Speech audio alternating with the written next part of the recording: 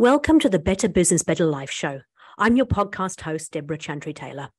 In this podcast, I interview business owners, EOS implementers, and business experts who share with you their experiences, tips, and tools to help you create not only a better business, but also a better life. At the end of each show, you will have three tips or tools that our guests share that you can implement immediately into your life.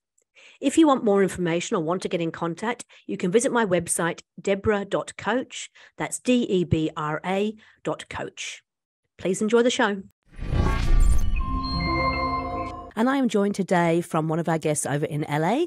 It is uh, the Amani Roberts, who is not only a professional professional DJ, he's a speaker, an author, and a professor, which is actually quite an unusual mix. So I'm really keen to hear a little bit more about how you got to be those four things, particularly. Um, we've just been having a wee bit of a chat, and we were talking about um, today on the podcast about unlocking creativity. So how do we, as business owners, kind of unlock creativity? So welcome to the show, Amani. Lovely to have you here.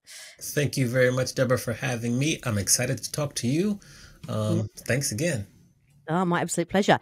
So tell us a wee bit about, because that is really, I think, probably one of the most unusual combinations I've had on my show, if I'm really honest. DJ, speaker, author, and professor. Yes. tell us a little bit about your story and, and where you are now and how you got there. Absolutely. I grew up um, on the East Coast of the United States, so the Washington, D.C. area, went to Howard University, um, I grew up wanting to be a DJ, but I didn't think it would be a legitimate career. Um, I was wrong. So I went to school, worked across different hotels across the country. And then I arrived in Los Angeles and I decided to learn how to DJ. And so I made the transition slowly and eventually went full time DJing. But as you know, as we know now, it's very hard to be full time um, a DJ when you're starting off you know you need to have some different revenue streams to kind of support you as you grow your business grow your network things like that. Um, so what happened is that i was djing doing a little writing and then i got the opportunity through networking to uh, be a professor at a local university. And they approached me and they gave me two classes in like a week to get prepared. An adjunct professor. I go in i do well the first semester. Was very challenging. I do well the first semester they asked me back, and I've just kind of continued to stay back in the interim. While I was teaching, I did get my master's degree so I could stay teaching. And now I kind of blend all four together. It's all pretty much based about the music business. I teach music business, I teach entertainment operations. That's kind of what I speak about in terms of creativity, and that's what I do in terms of DJing. So that's kind of a quick synopsis of how yep. I got to be a DJ, a professor, and a speaker. Um, and that's kind of where I'm living right now. That's fantastic. It's great to see that you're kind of, you know, doing what you love, which is one of my um, things that I always advocate for. Is life's too short to not be doing what you love. Uh, so, so you're a full time DJ now, though. So I mean, that, that actually has become a profession, and yes, yes, it's a profession. Um, and you know, I've gone from doing a lot of work in like clubs and bars. I do some social events like weddings. I primarily do corporate events now, so you can space them mm-hmm. out a little bit. Um, you know, I also do like a lot of hosting and emceeing, which is how I learned how to do that through DJing. Um, so I kind of combine them all, and it really makes for a good living. There's always room to grow. I can always do more gigs. I just try to be as selective as possible so I can be focused. But mm-hmm. it's continuing to evolve. It's it's doing well. It hasn't been easy. It's been a long road, but I'm here now, and we take it day by day. so it's interesting, isn't it? Because I always talk to my guests, and, and, particularly when they're business owners, it's like we have this this vision of we'll start a business, we'll have a few you know little um, problems in the beginning, but then it will just be a beautiful S curve. It will be smooth sailing. Everything's going to be great. That's what they teach us in business school. Yeah, that classic S curve. Life's not quite like that, is it? no, no. The life and growing a business is not linear. Is what I like to say. It's not linear. Yep. So mm, yeah, absolutely. So, what are some of the challenges that you've kind of faced along the way? I think the primary challenge is that, you know, when you're creative, your income could be very volatile, meaning you mm-hmm. could have a very, very busy first quarter. Your third quarter could be very slow. Sometimes it's hard to predict, and you just really have to build upon your business and you can't be kind of sole focused. Like that's why I DJ, I also MC, I do some speaking, and then I do some kind of coaching as well because you need to have the different income streams you know, God forbid we have another pandemic. But when we did have the pandemic, you know, there were no events going on. So you had to shift to do maybe some online events. I was fortunate that I was teaching. So that was allowed me to get some revenue and benefits. So I think that's probably the biggest lesson is that you're supposed to go all in, but within your career that you're going all in with, make sure you have some different revenue streams that derive from there. And I think mm-hmm. that's the lesson that I learned. It took me a, a minute to learn that, but I strongly believe in that. And I feel that that's the proper way to move forward as, you know, the world continues to evolve. Yeah. I mean, it's, it's the old adage of not, not having all your eggs in one basket, and it applies to business too. It's not that we want to be everything to everybody, but if you can actually be really clearly defined about what your niche is and, and have different, um, different customers, different revenue streams, different ways of actually delivering that, I think that's really important. Yes, I agree 100%. Yeah. Mm-hmm. Cool. So, unlocking creativity, you do a lot of talking around this, and I'm not even really quite sure what it means. So, why don't you give us a little bit of an explanation and what you mean by that? Absolutely. Um, and that's good that you say that because, you know, unlocking creativity sounds could be kind of random, kind of big to people, but many times in business and in life, we get stuck.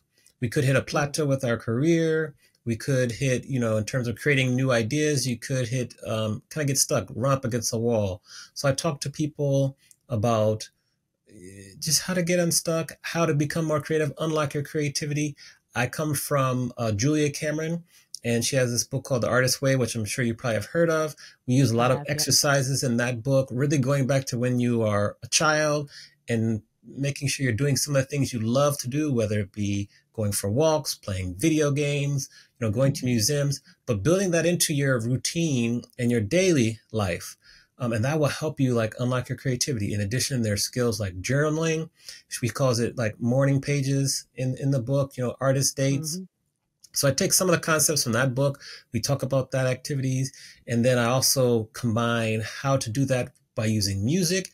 Music is one thing that can really help uh, whether or not you're trying to create ideas and you put on some you know classical music or you know you have different genres that you love it could be afro beats hip hop country um, but I combine. Especially for doing housework. I think there's a certain type of music that really encourages oh, housework. House music. Yes, yes, exactly. yeah, yeah.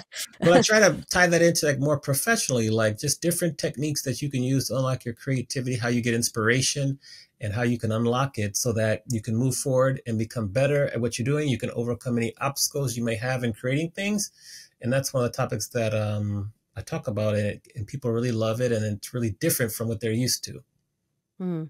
It's actually really interesting because we do talk with our businesses that I work with around, you know, you get to this point where you do hit the ceiling, and that can be at a company level, department level, individual level, but you just feel stuck. That's what hitting the ceiling means, right? You, you feel stuck, you're not quite sure, um, you've kind of plateaued, and you just don't know how to get out of that funk. Um, and so, what you're talking about is, is a way to actually unlock the creativity to get you past that stuckness. Is that right? Yes, you just define where you're stuck and then tap into experiences that you've had in the past that can help you come up with different ideas to get around it. We're probably our most creative as humans when we're kids because we don't mm. we we haven't been told or we haven't experienced how an idea might work or we haven't been told as many times as we have been as an adult. So if we can tap into that kind of fearlessness and really, really kind of work on just thinking about any and every idea that you could have to, to solve a problem, to create a new product, to, to, you know, maybe relaunch the product that you've, that's been successful, but is kind of getting stale. Um, that would be beneficial. But, you know, as adults, we've heard no so many times we kind of rule out ideas or tactics before we even try it. And so that's really the main goal is to tap into our zeal and enthusiasm from when we were children and apply that to our current day issues and ideas.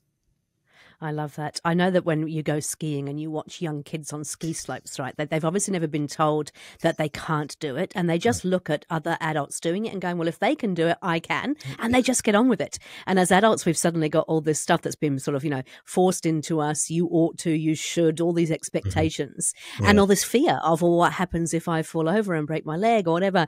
And, and I just love, I love watching children on the slope because they just, mm-hmm. they have this absolute, um, zero fear and just it's literally they go if that person is doing it why can't i exactly it's true yeah. and so we should apply that same philosophy to a current day not just when we're kids Mm. But sometimes it can be really hard, right? Because we all have bad days. We all have bad weeks. I mean, to be perfectly frank, we've had a couple of bad months, and you know, you get into that whole. I call it the spiral of doom, where it's just you, you, you. If you're not careful, you will hit rock bottom, and it's like, well, how do you actually pull yourself out of that? What mm. would you suggest are the first steps to kind of start to? Well, first of all, you have to recognize it. But once you've recognized it, what can you do to kind of pull yourself out? Yeah, I think there's a couple things that are very, very um, productive that we can do. First, we have to identify the fears because fear is probably what, what really holds us back the most. Fear of mm-hmm. failure, sometimes fear of success, fear of running out yep. of time. So once you can identify the fear and then understand that it's always going to be there, but we still need to try to move forward despite it and just see what happens. I think a couple specific activities that really help is like I mentioned before, like journaling, especially when you're like a rock bottom journaling, particularly if you could write letters to yourself where you are today and then write a letter to where you could be in six months or a year. So writing a letter to your future self, I think is yeah. very effective, very powerful, helps you get it out there. Um, I also think that doing a lot of like visual activities, nowadays we don't really get magazines as much anymore but you know vision boards and things like that you mm-hmm. can use pinterest to do that. I think that's very very effective. Um, i also think that to be very very cognizant of who you're spending the most time with um, you know the, the old saying you know you are the sum of the five people you spend the most time with that is a fact. That is very true. So make sure you're surrounding yourself uh, with positive people Another saying, you know, if you're the smartest person in the room, you need a new room. I agree with that 100% too. Um, yep. So really try to get out there, meet people, attend events that, you know, could be beneficial where you can find people that are on your kind of vibration level. For example, yep. I just went to the National Speakers Association annual conference in Orlando and it was tremendous because there's so many other people there that were on just the same higher level. So you got to talk, listen, um, so do things like that. Even watch like uplifting, motivating podcasts, interviews, just really because there's so much negativity out there now. So you really have to try to stay away from that. Don't watch the news and just kind of continue to fill yourself up with some positive food, with uh, helpful information that will increase. Read books. I know, I think I read a stat. I should have written it down, but I think the stat I read was like you know, 80% of the people in the world will not even read one book in a year, which is shocking. Oh, really? But I'm not surprised because if you want to you want to keep a secret, put it in a book. So read a lot of books, listen, observe. Those are things that I would advise for people who have kind of hit uh, rock bottom. But the hidden trick I want to say is to write those letters to your current self and your hmm. future self. I think that's just incredibly impactful. I think that's actually, I was going to ask, we're going to go back to that and actually ask you about that because I know that I did Outward Bound. I'm not sure if you have that mm. in America, but it's a, you know, it's a, it's a course that really kind of challenges a lot of your thinking, sort of physically, emotionally, the whole thing. And we have three days of solitary confinement, I suppose it almost feels like, where you're in a tent on your own. You get given very, very small rations of food and you're not allowed to take anything with you apart from a journal. And you have to actually write a letter to your future self in six months' time. And they give you some questions to ponder so that you can actually write that in the letter. And then they hold on to that letter and they post it to you six months later. And it was a really pivotal point for me because I was going through some difficult things in a personal relationship. And I wrote down all the things that I'd learned about myself being outward bound and, and the things I was actually capable of doing that I thought I couldn't do, like running 12 kilometers. I'm not built mm. to run, but we, man- we know we managed to run 12 kilometers. I managed to climb rock faces I thought I'd never be able to do. And so when that letter arrived in the mail six months later, it was just mind blowing because my life had actually changed quite significantly in that six months. Mm-hmm. Um, and this letter to myself was just a reinforcement of, yes, I've made the right decision. Yes, I'm doing the right thing. So, and all the things I talked about in my letter to myself had actually come true. So there's a real power, isn't there, in writing mm-hmm. that stuff down? Yeah, yeah. I do a similar activity with my students. Um, I think it's probably a five or 10 year letter just because I want them to be wow. kind of uh, out in the professional world for a while, but they're supposed to, you know, describe everything from where they live, their daily routine, what kind of job they have, how their personal life is. And then, you know, hopefully soon, as I get to maybe seven or eight years of my students graduating after doing that activity, you know, they'll get the letters, they'll look at them again, but it's extremely powerful.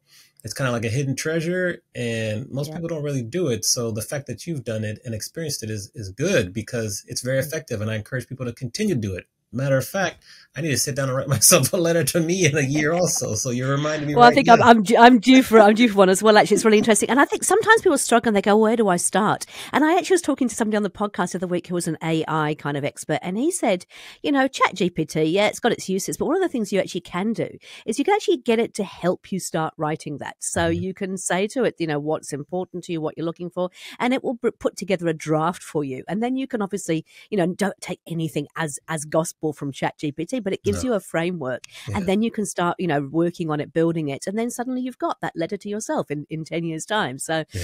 um, use technology to, to assist you not to not to do it not to do you the writing, but but you know, do the Mm. research and help you with the prompts and things because the letter's got to come from you, from within. yeah absolutely. So so the other thing you mentioned was journaling and this is something that um, i know has been recommended by a lot of people that i've it's something i actually don't do and it's something that i'm not really even sure. I always get i do clarity breaks. Where we sit there with a blank piece of paper and just ask ourselves some questions and write things down. But journaling's a little bit different. What how how do you describe journaling and how does one start journaling? So there's a couple. Um, there's two different mm, techniques that I'll describe you that I use both. The 1st Mhm. one is that as soon as you wake up in the morning, you know, get your journal and just write down any ideas that have come across your consciousness the night before. So write down any Mhm. idea. Try to get 10 or 11 ideas a day, no matter how daring, how creative, how unlikely they are to be good ideas, write them all down every day. Because once we wake up is kind of when our mind is at the clearest. And Yeah. so that's the first part. Then um, it's kind of taken more from like the morning pages or just like when you are so inspired. It could be after you finish work, before you cook dinner, after dinner, before you go to bed. Then you can kind of write down things about your day, how you're feeling, what happened, what are you looking forward to, what didn't go well. Maybe if you're having, you know, conversations or you're not able to have conversations with people maybe in your personal life, but you want to get some things out that you're feeling, just write those down. Um, lists. Lists are always a good thing. Um, you can write, you know, when it comes to maybe a job that you're looking at taking or a client, all the positives, all the negatives. If you're t- working or you have a significant other, you can write about all the characteristics you like about them, maybe some things you don't like about them. So you can use it for personal and professional. Um, the key is just to get it out of your mind and your heart and your soul and onto the paper. And so the ideas in the morning, you can also do the writing and the feelings during the day, in the morning, evening. Those are the two types of journaling that um, I recommend. I personally need to do more of it because I'm particularly overdue. Um, even if you're on traveling, you're on a plane. Yeah. Sometimes you're on a plane, you're sitting there waiting for takeoff. That's a perfect time to write because you can't really do anything else but that. that's true yeah Um, And I just think that it's very effective and it can really help. Yeah. So I think maybe I'm maybe I'm I'm overcomplicating it, which I think we tend to do as humans, right? Because I'm actually I am doing some I'm do, doing my gratitude each day and talking about the things I'm excited about in the next day, and I do try and get everything out of my head before I go to bed because I know that if I don't, I'll wake up at two or three a.m. and suddenly my mind is full of all kinds of things. Yeah. But I think that the it, it's the free fo- the the lists thing because I, love making lists. I'm half Mhm. German, so for me, oh, lists lists are, are, are a, a thing I love to do. But I like the idea of you know just um, it's a really good chance just to get stuff out of your head and to when it's in writing there's something about it isn't it it's like you've actually you've got something you can refer to it sort of brings clarity to what you're thinking about as opposed to just keeping it in your head or um, and i love so i actually um, i use a reMarkable rather than a pen and paper Mm. um, and I bought this little um, stylus, which looks like a pencil, which I quite Mhm. like because it makes me feel like I'm a kid back at school, Yeah. kind of writing in my journal. Um, but I do find that, you know, we do spend a lot of time typing and doing communications using typing, but actually writing has a different, I don't know, it has a different connection to the brain, doesn't it? I believe it does. Um, I have a reMarkable too, by the way. I like to use it also. yeah. um, and just writing things out, I just think it sticks more. To keep it as simple as possible, it just kind of sticks more than typing is a little bit. hmm Um, it doesn't stick as much when it comes to typing.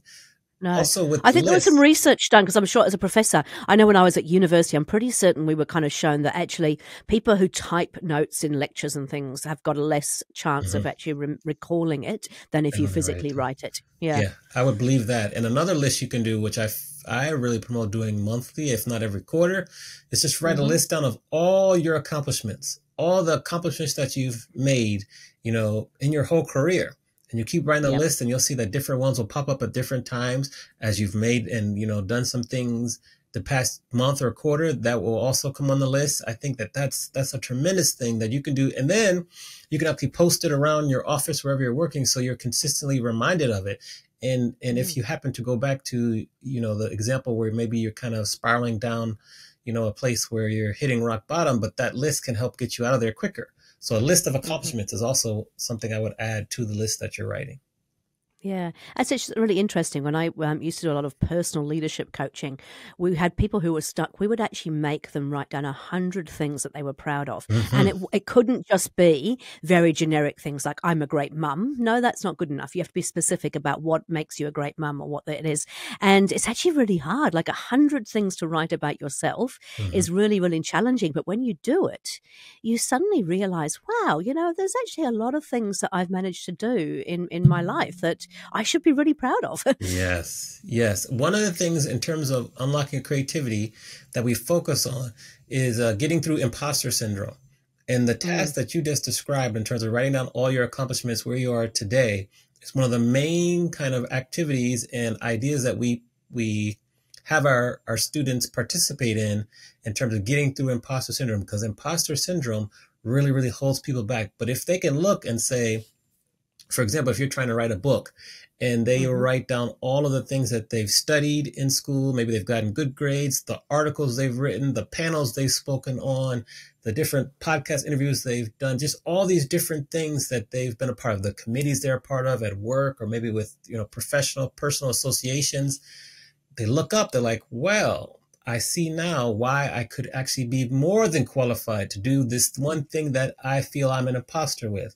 So the list, the accomplishments, getting and unlocking creativity, the, one of the main things, which I forgot to mention, but this is a good reminder, is just getting past imposter syndrome because that holds us back so much. Right. And so, I mean, this is a, a, a, a reasonably new kind of terminology. I mean, it's been around for many, many years now, but what, what does it really mean? So, what we describe imposter syndrome from your point of view.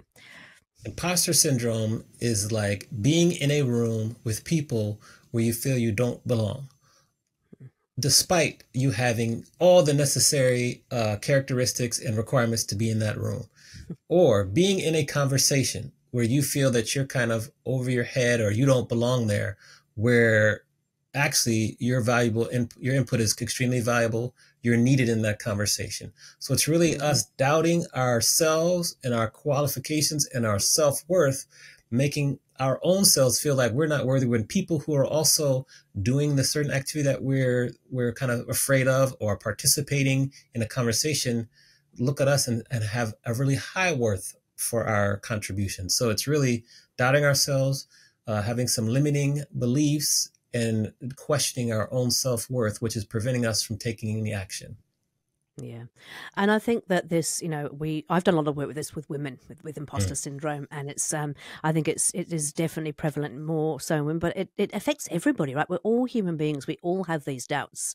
Um and I think it's actually, you know, it's natural, but we have to uh, you've got to get past that because if you don't get past it, you're never going to get, you know, never going to break through that ceiling, right? yes, yes. I mean, you'll never accomplish anything that you could be equipped to do if you're continuing to question whether or not you should do it. So it's, it's holding it's, you back. It can hold you back. It's very debil- debilitating. Mm, okay. I guess we've got a few things there. My goodness, I've got quite a few things here. I've written loads of things down. So we've talked about, you know, the journaling, the future letter to yourself. You also talked about surrounding yourself with the right people. And it's one of the things I talk to my clients about. It's actually, you know, you need three, in my, in my opinion, if you're running a business, you need three things. One is a peer group of people that you, um, you know, that you can learn from, that challenge you, that support you. The other one is a coach who can kind of keep you on track. I, I'm a big believer in that. I have one myself just to give my accountability. And the last thing I always say is an operating system for your business because that's what I help people actually implement. Um, but this whole community thing is really important, isn't it? Because the, as you said, the people that you surround yourself with, they that that's who you become. Um, how do you go about finding a mm. peer group or a community that is right for you? That's a great question. I think there are different uh, techniques you can do. I highly recommend, you know, networking, going to places where they're going to be like-minded professionals or people there that you can share experiences with and then you just have to talk to people. You can talk to people you can see okay who's here that's really taking action making things happen and there's less less talk and more action. I think that's one thing that yep. we get caught up with is a lot of people will talk about doing things but very few people will do them. So you want to be part of the people who are taking action. You also maybe want to be around people who are maybe a step or two ahead of you it's like they've kind of mm-hmm. already done what you plan to do and they're willing to kind of reach back and assist you. And maybe there could be something you could help them, them with. That way you kind of look upon them with, for some inspiration and some guidance. Um, and then it just yep. takes time. And I, I really want to also reiterate that this can also be applied to your personal life too. There could be some okay. friends or significant others who are holding you back and are just not going to be good for you in the long run. And it just, that could be even more difficult conversation, but that also is very important when it comes to who you're surrounding yourself with. Because if, mm. you know, if the home life and in your personal life they're not positive they could be toxic or negative it's going to hold you back professionally so you really have to be diligent and focus mm. on who you have around you that's going to be supportive inspiring push you but also be there for you tell you the truth maybe when you don't want to hear it um, and just continue to kind of be there for you. So networking, minding who you're around personally, um, yep. and then you know not being afraid to reach out to people and maybe have conversations with them, and also be of service because once you're of mm-hmm. service and you're not just always taking. Um, that will allow people to open up to you even more and it will help strengthen the relationship. Yeah, completely agree. I'm I'm a big um, fan of the Go Giver series um, of books. I don't know if you've read those by Bob Burg, but um, that that is all about you know it's all about how can I be of service, and that's how you create relationships. But I suppose people listening in are probably thinking this is easy for you and Debra and Amani to say because you're you're natural. You know, you love to talk. It's easy for you to go out there and network and talk to people. What happens if you're a bit more sort of um, shy and nervous? I think the first thing I want to say is that I actually I actually get nervous when I go networking. Mm-hmm. I, I don't enjoy being in a room full of um, complete strangers I don't naturally kind of go up and just talk to people, but um, I've learned how to do it. But if you're very naturally reserved, how would you recommend that they approach that? If you can find like maybe a buddy or a friend to attend some events with you, that will be tremendously helpful. I think that's the best yeah. advice I can give you is try to find, you know, a friend or a buddy in advance. If that's not possible, try to do a little bit of research before you go to an event. So maybe you can see, oh, there's two or three people that I definitely want to meet, find out about them so that when you're there, you can look mm-hmm. for them, say, okay, well, I'm here. You know, I was doing some research. I love to meet Debra because I have these questions for her. Is she here? And they'll say, oh, okay, well, let me introduce you. And they'll say, oh, why do you want to meet Debra? Do that. I also talk to my students who are the same way. They're very, very uh, shy and just don't know how to network. And we do these fun kind of icebreaker activities before each class, each week.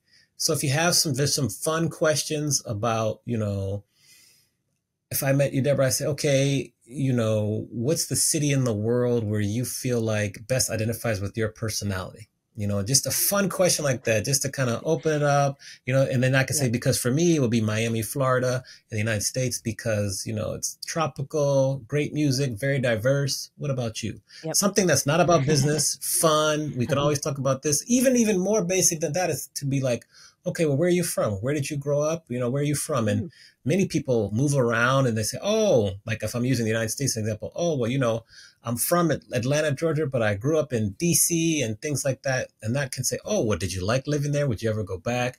And then from there, you're kind of off and running. And those are some two, well, really three kind of tricks or techniques that I think are very effective, especially if you're a little bit more withdrawn and shy. That will help.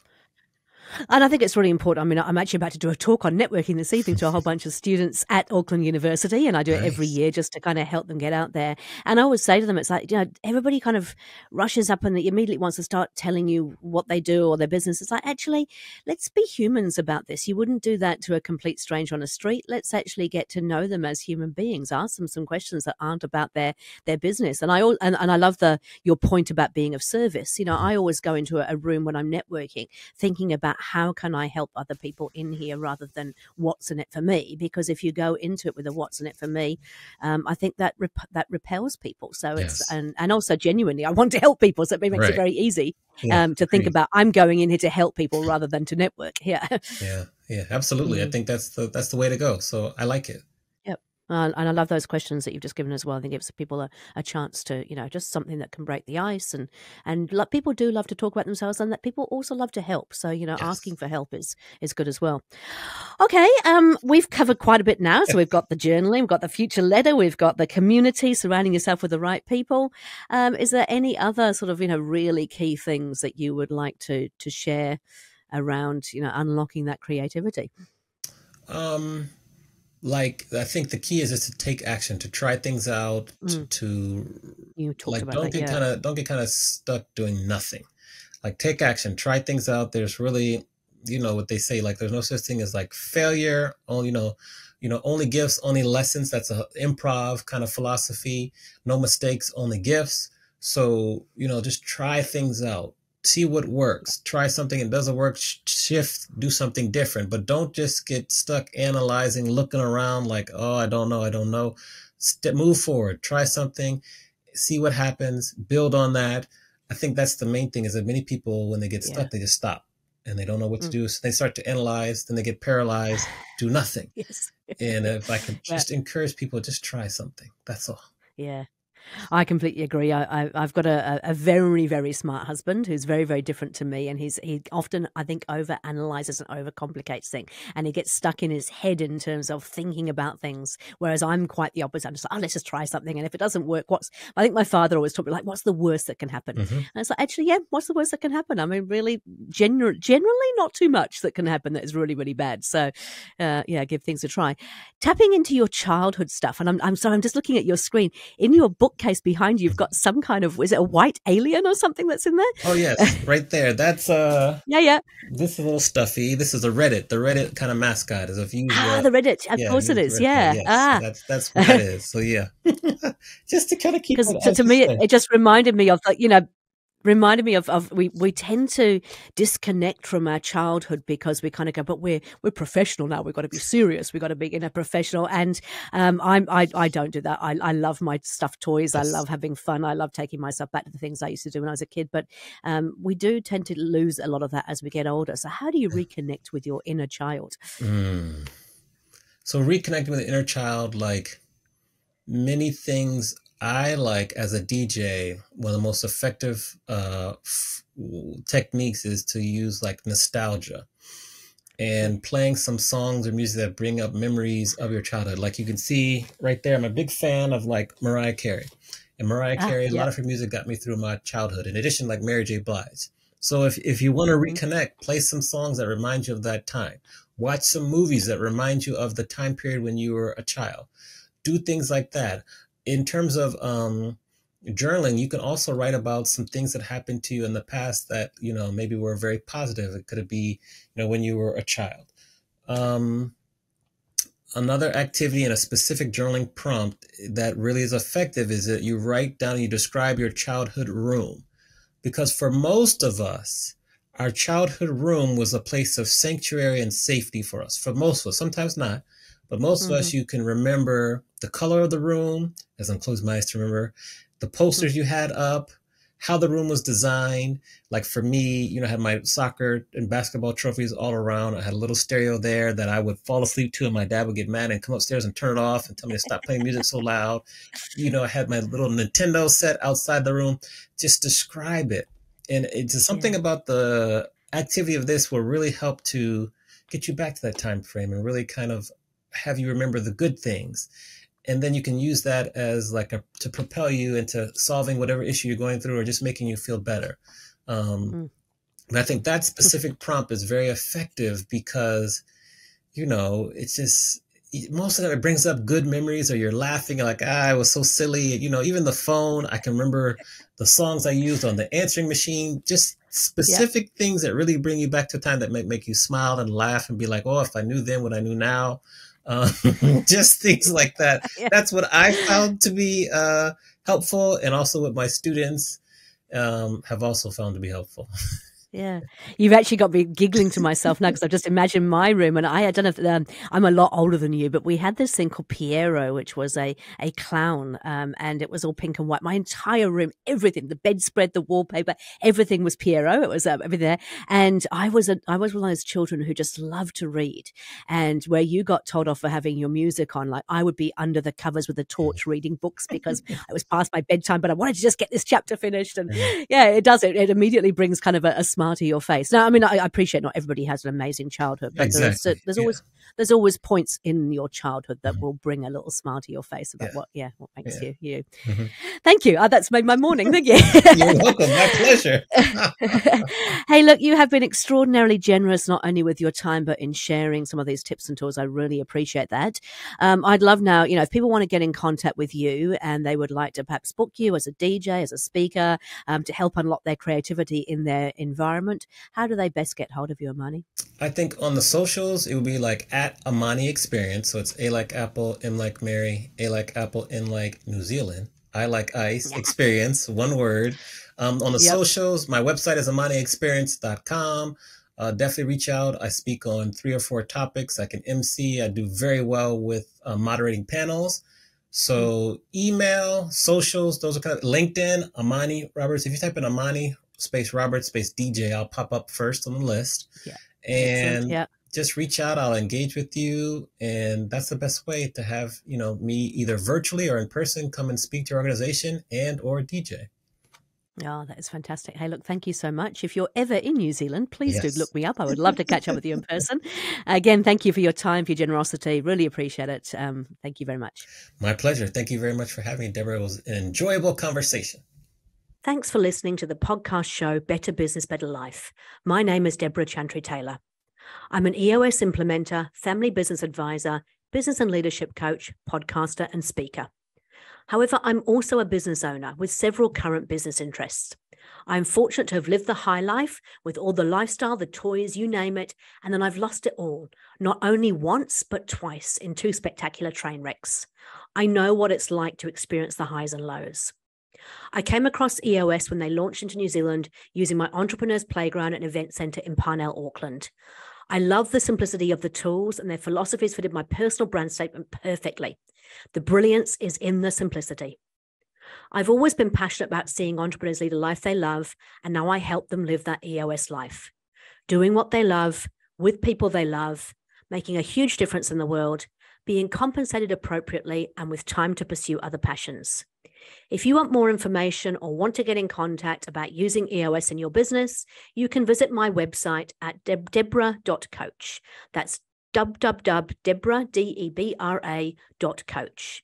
Thanks for listening.